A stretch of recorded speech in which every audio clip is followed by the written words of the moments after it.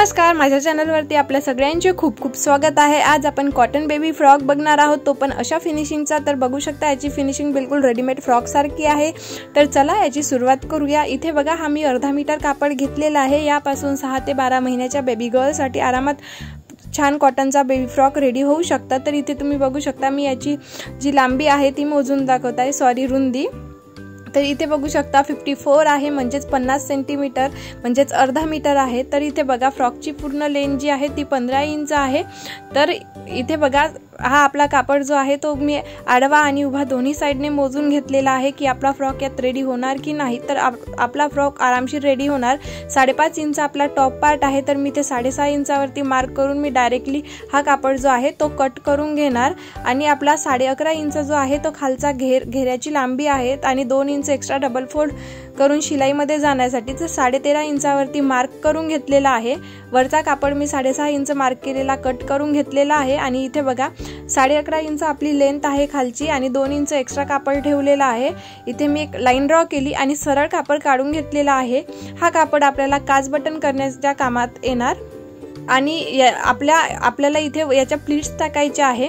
तर इथे बघा हा मी कापड कट करून घेतलेला आहे. आता आपल्याला टॉप पार्टची कटिंग करायची आहे. टॉप पार्टची कटिंग करण्यासाठी मी अशा प्रकारे कापड घेतलेला आहे. यात साडेतीन इंच शोल्डर आणि सा चार इंच जे आहे हे आर्मोल घ्यायचे आहे. आणि इथे आपल्या चेस्टचं मार्किंग करायचं चेस्ट मी पाच इंच घेतलेली आहे आणि एक इंच मी शिलाई मार्जिन घेतलेली आहे. तुमच्या चेस्ट आहे ती चेस्ट आणि प्लस थ्री इंच ऍड करायचं आहे आणि एक इंच शिलाई मार्जिन ठेवायची आहे. इथे बघा दोन इंच मी गळा रुंदी घेतलेली आहे आणि अडीच इंच समोरची गळा लांबी घेतलेली आहे आणि मागची गळा लांबी मी दीड इंच घेतलेली आहे. अशा पद्धतीने आपल्याला एक स्क्वेअर आखून घ्यायचा आहे आणि आपल्याला गोल गळ्याचा आकार देऊन द्यायचा आहे. अशा प्रकारे मी आकार देखील देऊन दिलेला आहे. आता आपल्याला याचं कटिंग करायचं आहे. आरमूलचा इथे असा शेप दिलेला आहे.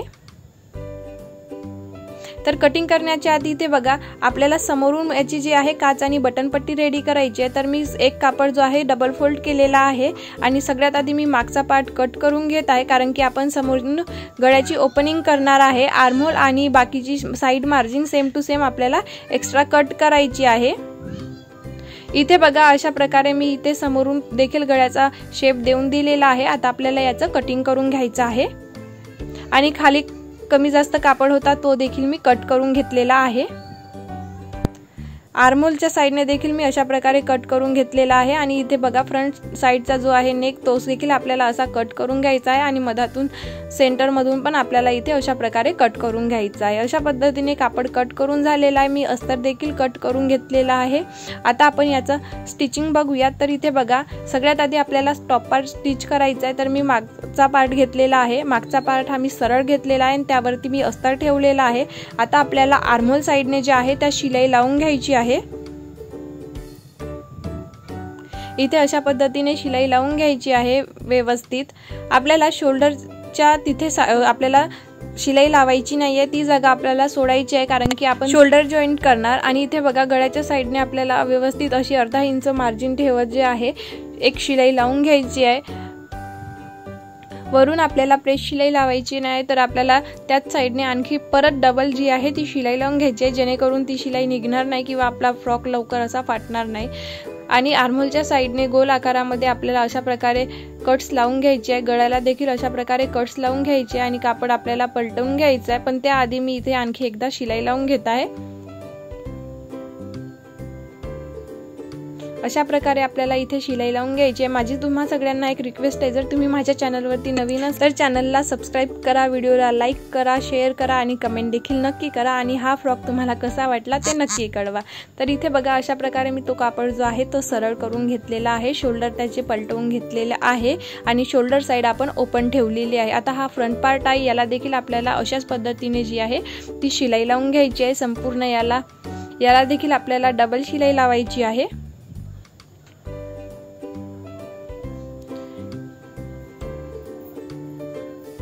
अशाच पद्धतीने आपल्याला गळ्याच्या साईडने देखील शिलाई लावून घ्यायची आहे आणि नंतर आपल्याला इथे कट्स लावून कापड जो आहे हा आपल्याला पलटवून घ्यायचा आहे.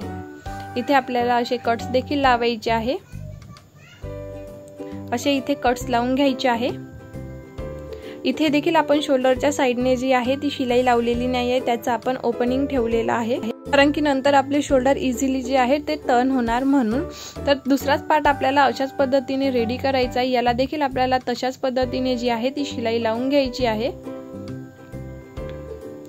वे कापड व्यवस्थित कट टू कट आपल्याला इथे ठेवायचा आहे आणि नंतर आपल्याला शिलाई लावून घ्यायची आहे. प्रकारे इथे शिलाई लावून घेतलेली आहे. आता आपल्याला हा कापड जो आहे तो पलटून घ्यायचा आहे सरळ करून घ्यायचा आणि मी याला देखा बघा अशा पद्धतीने जी आहे ती प्रेस देखील लावून घेतलेली आहे. आता आपल्याला इथे शोल्डर फिक्स करायचे आहे. तर इथे बघा मी समोरचा पार्ट असा घेतलेला आहे आणि तुम्ही व्हिडिओमध्ये बघू शकता टॉप पार्ट आपला सरळ आहे मागचा पार्ट आपला सरळ आहे त्यावरती आपल्या वरचा समोरचा पार्ट आहे आणि तो देखील मी उलटा ठेवलेला आहे. म्हणजे एकावरती एक सरळ असा पार्ट ठेवलेला आहे आणि नंतर एका एकामेकामध्ये जे आहे ते शोल्डर फिक्स केलेले आहे आणि नंतर स्टिच लावलेलं आहे. साईडने थोडे थोडे कट्स लावलेले आहे आणि शोल्डर अशा प्रकारे मी काढून घेतलेलं आहे. आणि त्याची फिनिशिंग तुम्ही बघू शकता किती छान आली आहे. तर बिलकुल रेडीमेड फ्रॉकसारखी जी आहे ती आपली पूर्ण फिनिशिंग आलेली आहे. आता आपल्याला साईड फिटिंग करायची आहे. साईड फिटिंग करायसाठी जेवढं मार्जिन सोडलं होतं बाळाची चेस्ट बघून आपल्याला साईड फिटिंग करून घ्यायची आहे.